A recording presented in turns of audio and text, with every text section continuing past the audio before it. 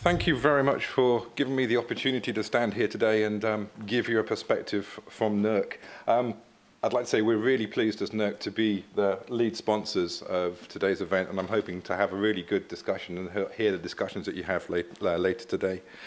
Um, Duncan, Duncan Wingham was supposed to be standing up here and giving a presentation. Um, as it is with chief executives, he had something else that uh, he had to do, and he sends his apologies he can't be here today. I could try and give a Duncan kind of presentation, but frankly, I put a tie on and I can't get his hair right.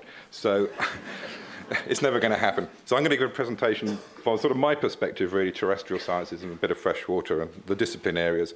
A perspective on sort of NERC funding and the, our directions and our processes and how you can sort of use those directions and processes to sort of uh, further the concept of natural capital.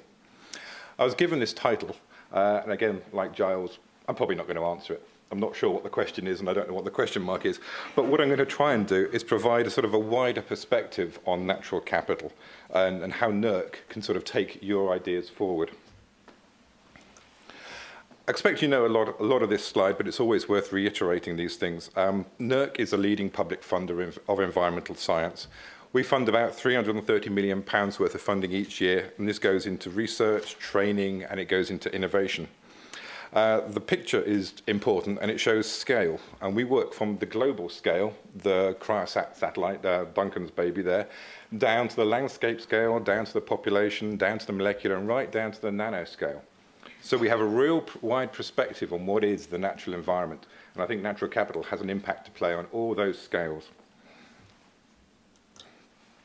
Again, you probably know a lot of this slide, but um, it's what do we support? Well, we support lots of scientists. Um, the U recent UK BIS report showed that the UK environmental science research and researchers are actually top in terms of publications and quality of publications in the world. And this is a real fantastic news for the UK. And it's something we as NERC want to try and continue and make sure we're top of the tree. There's a lot of challenges coming from the USA and from China, but if we can keep you, keep you there as the top of the, the, the world environmental scientists, that's really good news. We also fund a lot of students. Uh, we fund them through things such as DTPs, um, CDTs, and of course, short courses. And we also fund a lot of international work. Um, a good one I want to come on to later is ESPA, Ecosystem Services for Poverty Alleviation, and I'll come, as I say, I'll come back to that. We also fund many universities, not just the top 5, 10 or 15. We fund over 55 universities spread throughout the UK. Uh, and we fund a lot of institutes, and a lot of you here today are from CEH, obviously a core institute for national, um, national capital of natural capital. We also have a massive infrastructure at our disposal, or more correctly, at your disposal. Um, I gave this present, a presentation similar to this a few months ago, and I think we'd lost a submarine about then. I think since then we've lost another submarine. But uh, in replacement, we've gained lots of little robots down at, at Plymouth, so I guess it's all good news, really. we're, we're doing okay. Um, this is our strategy and our vision. Um, as you can see from the title, Business of Environment, it's kind of quite ambiguous. Uh, and it's kind of, it's meant to be um, ambiguous, and we'll say why later. Um, we also have a vision to place environmental science at the heart of responsible management in our of our planet. And it's probably worth trying to unpack this a little bit in terms of understanding our strategy and our focus on emphasizing the contribution. Our focus is emphasizing the contribution of our science rather than the detail of the science. A lot of other sort of research council strategies maybe focus on the detail of the science and what they're trying to do. We're trying to understand what our science can contribute in terms of a, global perspective or sort of in terms of the worldwide uh, angle. And the key challenge really is to understand what effects we, I mean we as humans, are having in the world. And the systems of the world have evolved, as we know, over hundreds of thousands of years, and they've adapted. And now the environment is being irrevocably and rapidly changed by humans. And I think really there are several key themes relevant to natural capital that we can sort of pull out in, in the, the strategy that we have. The first one really is um, anthropogenic change. Since NERC was established in 1965, I think it's fair to say that we've undergone a profound change in, in the world and that we no longer actually live in a natural environment. We are the Natural Environment Research Council, but natural environment, in a sense, doesn't exist anymore. There's virtually no part of the world that is unchanged by humans. We've blown the nitrogen cycle, we've blown biodiversity, the planetary boundaries for both are just you know, way off the scale. And there's almost no terrestrial landscape out there that is original. We are, as humans, we are the largest sources of change on the planet. And that's an important perspective for us to have, to try and understand where we are coming from in terms of a research council and what our challenges therefore have to be. The other thing we need to recognize really is because of that, there's such large challenges that we are not, as a research council, in a position to address those and to provide answers.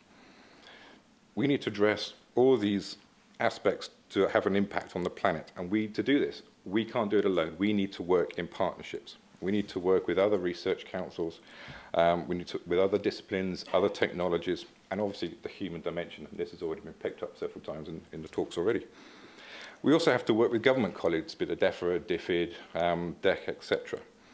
If we don't work with these people, with these other funders, other, other stakeholders, we are not going to be able to answer the big, wider questions. We are just a part of that puzzle.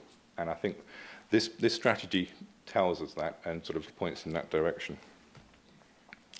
We must also recognize that the majority, if not all, of the ecosystem services or services we derive from the environment, food, um, water, nutrients, minerals, etc., they are all provided actually by private enterprise. We don't get any of those free or from, from the government. Therefore, we, as the Natural Environment Research Council, cannot isolate ourselves from business, and we should not isolate ourselves from business, and we need to work with them and to address these great problems. And it's all part of the wider package of research councils, the businesses, and that's the only way we can address these wider solutions. The fourth thing to unpack really is recognizing that there is a tension between the benefits we derive from the environment and our desire to keep, keep it both healthy and sustainable. And that's really where the, the ambiguity of the title comes in. It tries to acknowledge this tension, this difficulty about how we, we are understanding the environment, we manage the environment, and we deal with the much wider stakeholders and things that we, we need to do to, to get things safely out of it. So the NERC, NERC vision to place environmental science at the heart of responsible management really sets out where I think we need to be. NERC isn't a campaigning organisation, and NERC's not a policy forming uh, organisation. Our purpose is to fund and pursue science, and that therefore will provide a perfect, uh, objective evidence base which others, such as government, such as campaigners, can use in policy, or can use in their campaigning, or can use in their land management practices. That is what our purpose is. So recognizing these challenges and tensions, we have three areas uh, we've emphasized within the strategy. Um, really cons consider these sort of expressions of challenges or opportunities. The first one is benefiting from natural resources. And we see this as an expression, really, of natural capital and ecosystem approaches. And it's a recognition that we, as a population, need to make and use food, uh, water, energy, and minerals. And our science tells us how the environmental processes control this resource availability. Now, from a natural capital perspective, we need to understand the value of these ecosystems and these processes, understanding their tipping points, their values, their availability. Only by doing that can we then answer the question of how to manage these things in a, in a proper and responsible way. The second one is resilience to environmental hazards. Uh, this includes things such as extreme weather, volcanoes, earthquakes, emergent diseases, invasive pests and pathogens. All these things impact on our lives, maybe not in a daily way, but on all aspects of our lives. Our science needs to understand and seeks to understand these processes. And knowing the cost of these processes, knowing their implications and knowing what happens if, if they occur, will help us to sort of manage and to mitigate these risks going forward. So again, natural capital has a role to play in understanding our environmental hazards. The third one, managing environmental change. And this is on recognizing that what we're doing to the environment now is much bigger and much faster than it was 15, 20 years ago. It's picked up on slides by Giles earlier. Um, we need to understand holistic concepts through the integration of the work and to provide processes to understand that these processes and how these processes are working. And again, using a natural capital as a framework could help to prioritize what we're trying to do and how we manage these processes much more um, responsibly. So what I'm hoping, what message I guess I'm trying to say here is that you can see natural capital and exploring how we value in terms of ecosystems has a lot to contribute to what are these big challenges and these big challenges that, that NERC has to answer, but answer with other people involved. So sitting beside the strategy is a new mechanism for funding and funding strategic research. And hopefully we're now trying to do this in a much more competitive and a responsive manner. There's two bodies uh, you, you, should be aware of, and hopefully you are aware of, two, not, three, not four. Um, the first one is SPAG, our Strategic Programs Advisory Group. And this is a, this is a group um, which actually met last week for the first time and should have two outputs going forward. Uh, it will produce strategic program areas, and these are sort of large bodies of significant work, uh, multi-grants, multi-funders, uh, large timescale type pieces. Thinking here of things like Valuing Nature Program, BESS, etc., that sort of scale of work. The other thing it will produce is highlight topics, and these are much more constrained activities, akin to sort of larger grants, between one three million pounds, for example, over shorter timeframes. And they're there to answer specific activities, uh, specific challenges. We identify there's an issue, we can put some money into it, short-term type approach. I say that met last week, so uh, keep your eye open for these, these topics.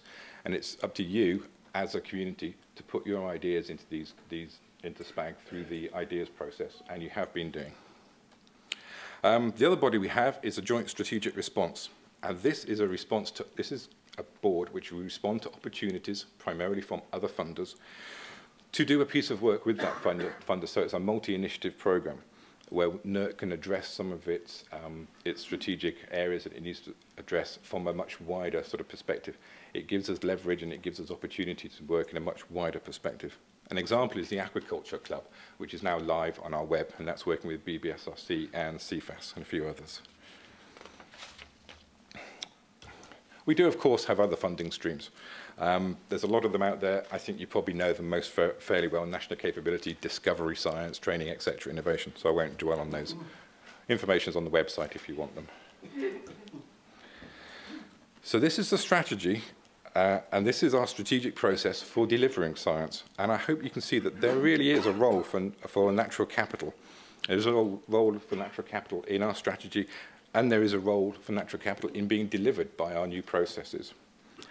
Natural capital and the research around it, as I see it, really does have a role to play, and it's not just in local challenges or local conservation type issues, very important as though they are, we recognise those, but it does have a role in the much, these much wider societal challenges that we face. And again, I think this has already been brought out in the, the presentations before me. We are NERC. I am NERC, we are NERC. Um, and how these challenges are addressed is very much up to you and to be advised by you and to be addressed by you. So it's your chance and your opportunity sort of to talk to us and to put ideas such as through the, the SPAG process, etc. And you as a community are very well rep represented on all the boards and the councils and the, the groups that we have in NERC already. This is a very much reduced slide from the one uh, presented earlier on um, by Alan. Um, it sort of more focuses, I suppose, on, on the NERC perspective. And I'm trying to simply really trying to show here that NERC has both a, both a past and a present in, the in understanding natural capital, capital and then providing knowledge for the Natural Capital Initiative and understanding how it works. Um, the key things here, the two things I'd like to pull out, are the Valuing Nature Network. Many of you here are already signed on to the, the, um, the network or part of the network and have been actively involved in it. And it, this network has directly led to the £5 million initiative that NERC Investment has put up into the Valuing Nature programme. The Valuing Nature programme, there's two things I'd just like to say about it very quickly. One is, I'm really chuffed. I'm really chuffed about it. We've now got a great coordination team in place. It's going to be announced. It's not announced yet. Um, they're already fully immersed in you as a community, and most of them are actually here today walking amongst you incognito. Um, it hasn't been formally announced yet, but I, I suspect most of you know who you are, who they are. and for example, uh, Anita Weatherby is giving a, a, a drop-in presentation at the post about 11 o'clock, I think, so you might want to go along and have a chat with her. But we've got a really great team, and they cover all the disciplines importantly. And I'm really excited what they're going to do. And this is the second thing as well. Value Nature Programme is interdisciplinary. We have ESRC on board, we have BBSRC on board, AHRC on board, and DEFRA. They're all involved, they're all putting money in, so it's actually a sum significantly above £5 million.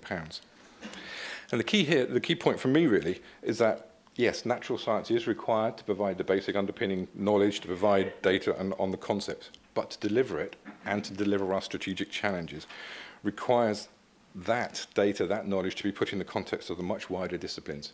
So with this, we have the biology, we have the social, we have the policy, and we have the arts, all coming together to provide um, a new perspective, hopefully, on, on taking the ideas forward. Arguably, I think natural capital is a much more diverse discipline-based concept than we've ever we've had in a lot more challenges that we've had. So it, it really does encompass the social the dimension, the arts dimension, the biological dimension, much, much more so than other things we've done before. However, I think it's probably fair to say, and this has already been picked up, that although including, that including the natural environment in decision-making processes probably has not really been taken forward so far. It's been done in a minimal way, and this really has led to a decline in sort of in biodiversity and in our stocks and our, flow, and our flows. Um, but there have been recent advances, and they've already been referred to, the Natural, National Ecosystem Assessment, the NEA follow-on, the Natural Capital Committee. Um, all using, all show that there really is a broad brush approach in terms of science disciplines and linking these to the economic basis of decision making. So from my perspective, at least, the tools are becoming there. Again, I agree they're not there yet. The knowledge is getting there. Maybe it's not fully there yet. But these things are starting to be there and are starting to come together. Therefore, me, for me, from my perspective, the key effectiveness here then is creating that interdisciplinarity and making sure that natural capital community, which is you, you out there, you are joined together, you are interdisciplinary, and you are in a very good position to really start driving this, this idea, this process forward. Okay, um, I'd like to bring back the idea of the, the knowledge requirement of natural capital back into the sort of the heart of the vision of, of NERC. Again, to place environmental science at the heart of responsible management of our planet. This in the title is somewhat ambiguous, but the title, uh, title sort of ties in knowledge gained from the basic science with the methods of environmental management. And to effectively provide that environmental management, I think we all recognize there is a need to understand the values we, that we place on those ecosystems and on those services that they produce. And we need to understand, the science to understand how these services function, and as well as their interactions of these services with the environment be that environment man-made or be it, be it natural. There, this then is an opportunity to work with NERC to sort of broaden the perspective of natural capital. And we can move it into areas such as food, water, energy security, so looking at the Nexus process, which um, has already been seen in the SRC, but also in developing new infrastructures. The green, the green, the grey, the blue infrastructures are sort of emerging, and this is a sort of concept that natural capital really needs to grasp and take forward. And again, there's also the purely urban environment. Under BESS, we fund urban BESS. Ooh, okay, two minutes. Uh, we fund urban BESS. And this is, um, this is a challenge uh, from the urban environment which we are just uh, engaging in now. And there's other challenges such as megacities and brownfield sites. So there is a big piece to do in the urban environment for us. Going forward, um, putting science at the heart of responsible management of our planet also has a very commercial perspective. Natural capital has a strong policy pull, but the business, there's also business needs and issues here, and this is going to be coming in the, the following presentation, I think, by Paul. For us, I think there's a sort of there's two issues. There's one of challenges of terminology and challenges of persuasion. And the Valuing Nature program coordination team really recognizes the issue of terminology and its the ability to translate science, the, the language of science, into the language of the business domain. We haven't really been very successful, I don't think, in doing this yet. Uh, there is a difference in ontology between what the science community think and what the business community thinks and needs. And it's actually trying to bring that together. And again, the Valuing Nature Program Coordination Team is very aware of that and is actually has great ideas to drive that forward. Next one civil pers uh, is persuasion. There are many companies out there, Aldersgate's a great example, that already get natural capital and want to work with it and understand the value of the environment. But, for example, the, the civil engineers that NERC works with um, civil engineering companies we work with, they really want to get it and want to move it forward. But there's other companies that don't, and quite often civil engineering companies work for job specifiers. Uh, these are things such as housing agencies, um, Network Rail, for example. Uh, the top level management of these places just sees the pound sign. It doesn't see the infrastructure underneath or the value of it. And the civil engineers really want to create a case to work with the, the specifiers to make the infrastructure and the, the natural capital type case. And they're very keen to work with us as the NERC to send in scientists such as yourself to really look at these, these developments, the green, the grey, the blue infrastructure developments, to create a sort of a sound environmental basis and a sound environmental valuation to put into the economic models that actually make sense to these guys. And there's a real good challenge around there.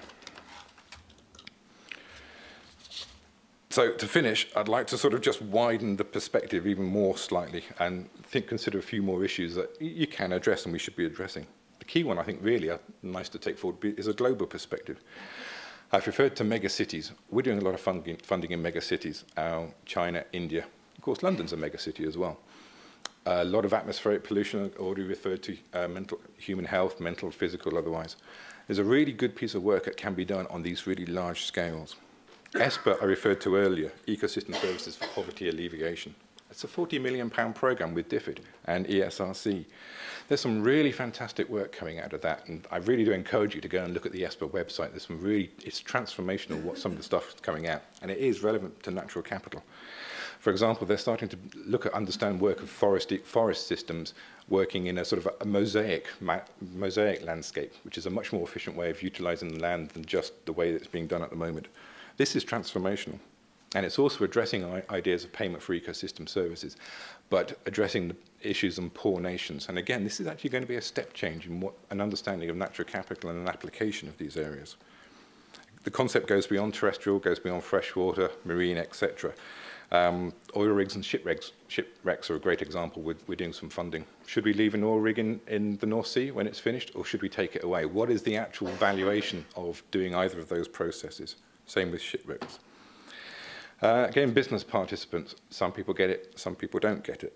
We need to try and work together to make those that sort of much more joined up piece. And again, infrastructure, referred to the blue, grey, green. We lack the ecological and interdisciplinary knowledge at the moment to evaluate the, the actual effects of the infrastructure on things such as biodiversity. And because of that, we can't really provide a, a sound management process for infrastructure. If we can start delivering that sort of thing, then we can start getting these infrastructures in place and really driving forward. I'll leave it there. Thank you, Alan. Thank you.